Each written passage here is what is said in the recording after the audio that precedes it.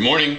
Uh, today we're going to uh, find the derivative of f of x equals 1 over x plus 1 by uh, the, the limit definition of the derivative.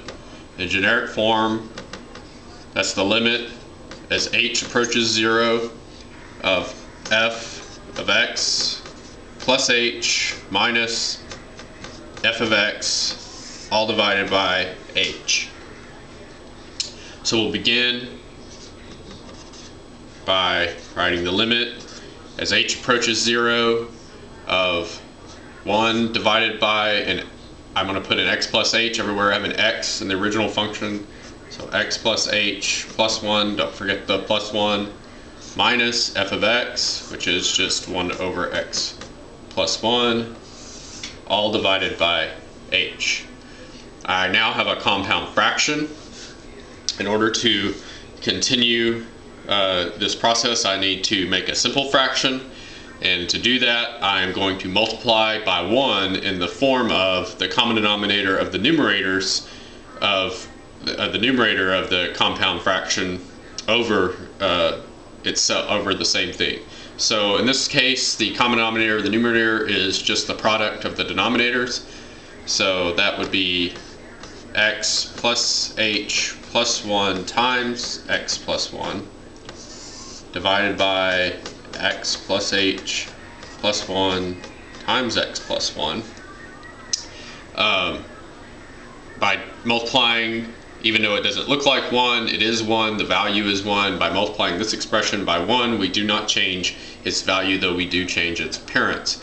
As we distribute this product through this numerator here, the first term first expression, the x plus h plus 1, will drop out. And we'll be left with the limit as h goes to 0. Uh, the x plus h plus 1 cancels out. We're left with x plus 1. I'm going to leave that minus there and some parentheses because I don't want to forget to distribute that negative 1. Uh, when I multiply this term, this expression by this product, the x plus 1's cancel this time and I'm left with x plus h plus 1 all divided by h times x plus h plus 1 times x plus 1.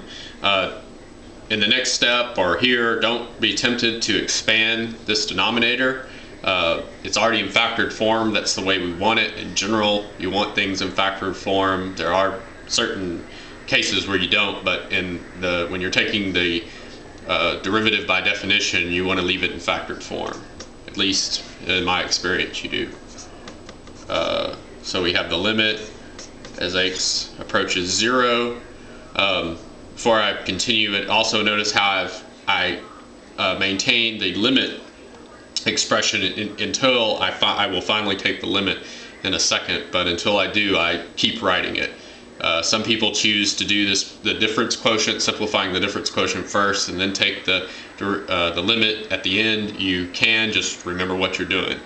Uh, so the numerator becomes x plus h, uh, sorry, x plus 1 minus x minus h minus 1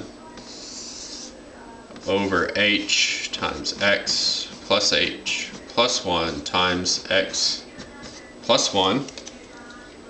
Notice the numerator terms will cancel, and they should. If you uh, end up, when you cancel, uh, simplify the numerator, uh, and you're left with anything without an h attached to it, uh, something's wrong, go back, check, do, see, see what's going on.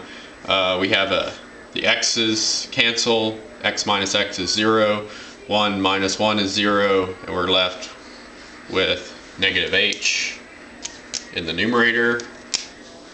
So we have the limit as h approaches zero of negative h divided by h times x plus h plus 1 times x plus 1. Uh, notice the h's now cancel. A 0 is not left, a 1 is left. I've seen that mistake before, is why I mention it. Uh, still haven't taken the limit. I'm just rewriting it. So we have the limit as h goes to 0 of negative 1 divided by x plus h plus 1 times x plus 1.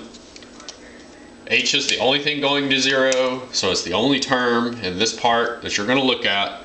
Here's the h. As it goes to 0, it is 0, so the pressure, I've taken the limit now, so the expression becomes negative 1 divided by x plus 1, there is no h anymore, it went to 0, times x plus 1.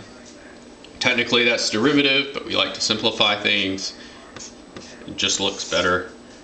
And, and later we'll take this by uh, rules and we'll get the same answer. But the final answer is negative, the derivative of, of 1 over x plus 1 is negative 1 over x plus 1 quantity squared. Okay, thanks.